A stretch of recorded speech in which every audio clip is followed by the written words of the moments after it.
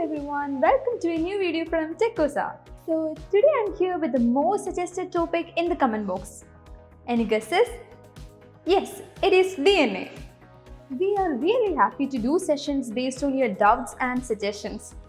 I know you all are really interested to watch the video. So without a further ado, let's get into the video.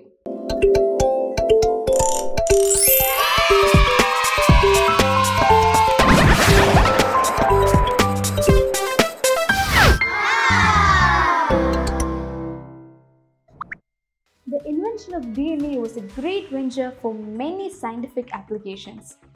It is said that American biologist James Watson and English physicist Francis Crick were first to discover DNA in the 1950s.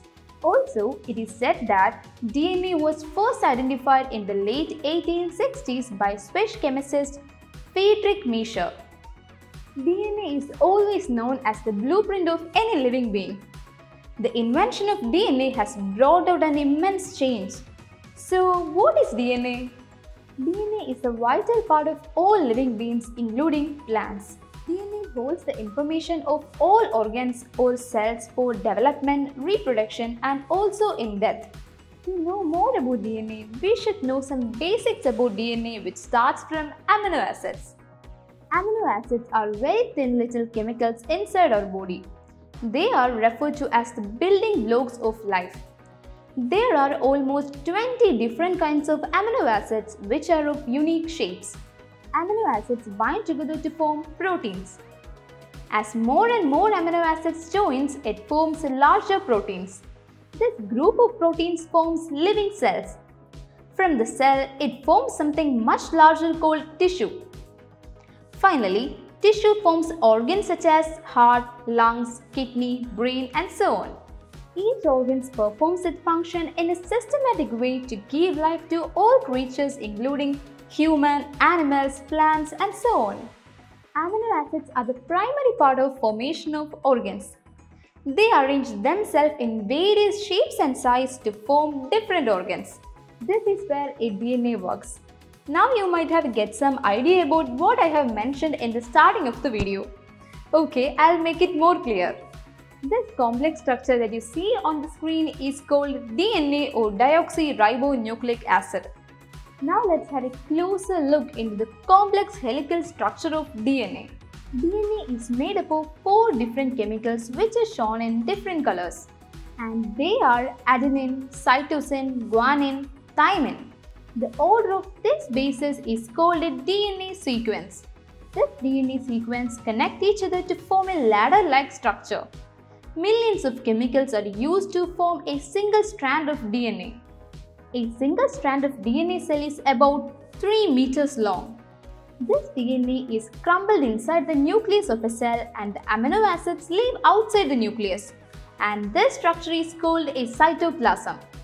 The special chemicals inside the nucleus make partial copies of the DNA code called RNA or ribonucleic acid. Both RNA and DNA are nucleic acids constitute one of the four major macromolecules essential for all known forms of life, where DNA is double-stranded molecules while RNA is single-stranded molecules.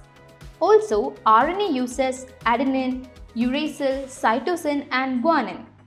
So, what is the role of RNA? Primary role of RNA is to convert the information stored in DNA into proteins. For this, RNA is passed through ribosome which further produces protein. Ribosomes can be found floating within the cytoplasm. These proteins form each part of the body to form life. So okay, I'll explain it in a more simple way. DNA is the essence of life that lives in the nucleus of cytoplasm. This DNA forms RNA which passes through ribosome and creates protein which forms each part of a body such as skeleton, organs, hair, everything. The DNA of each person is unique. You might have heard this in movies and news like DNA samples of people have been collected to find the accused. This is because all part of your body or every single cell of your body has your unique identity. Also, there are many people in the world with defects in their DNA causing illness in many part or organs in their body. Now let me tell you something really exciting. New biotechnology called gene editing has been used by scientists using CRISPR-Cas9 technology. Scientists can now remove strands of DNA that cause illness and replace them with different ones. In our modern with lot of technologies, this is also possible for us. And do you know this? You have about 10 trillion cells in your body. So if you stretch the hmm. DNA in all the cells out, they would stretch over 744 million miles. The moon is only about 2,50,000 miles away.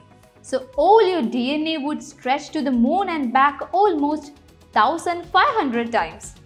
So that's it for today's video. Hope this video was informative for you. If you have any doubts and queries regarding this session, feel free to ask it in the comment section below. So see you all in the next video. Till then, bye bye.